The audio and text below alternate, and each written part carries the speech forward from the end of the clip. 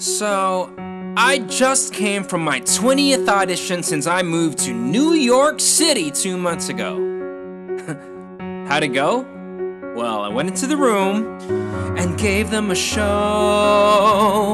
with my 18 inch biceps, my 30 inch waist, my perfectly proportioned symmetrical face. Yo, my diet and my workout are Olympian based. Oh, yeah.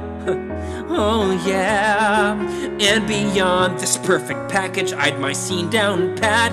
I'd shed a tear on cue, cried just like that. I gave them hip hop and ballet, sang a high B flat. Oh yeah, see, I was a superstar in the Manila scene. I was the Bradley fucking Cooper of the Philippines with a million Insta followers and Facebook fans hoping they'd cast me as a leading man. Between Manila stage and screen, I was constantly booked. Every writer and director and producer was hooked. When I moved to the States, oh, Manila was shook. Oh, oh, oh. but I did it cause my friend said I got the goods to be like Gyllenhaal on Broadway and Hollywood. To go from Hamlet to Avenger like Cumberbatch could, but no. I am an extra in a construction scene. I'm second cop, guy at bar, doctor number 13. Yeah, I know I can do things few others can, but here no one casts me. Here no one casts me as a leading man. Back home I was told I fit in the mold of Americans with showbiz dreams.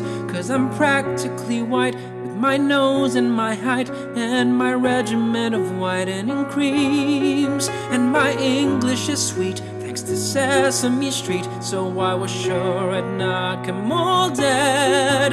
Well, today my audition rocked. And after 20 auditions, I shouldn't be shocked.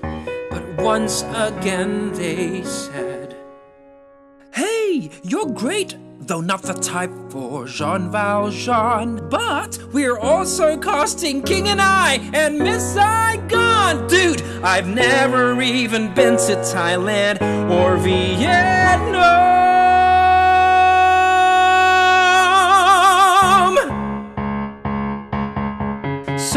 I get it, I'm different. Well, I'll show them all. Gonna work my ethnic ass off and break through that wall. Cause someday someone in a casting call will see me for me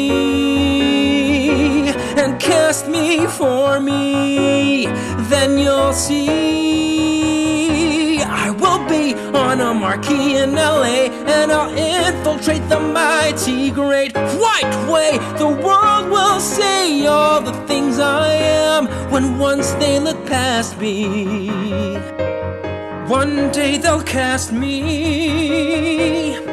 Come on and cast me as a leading man.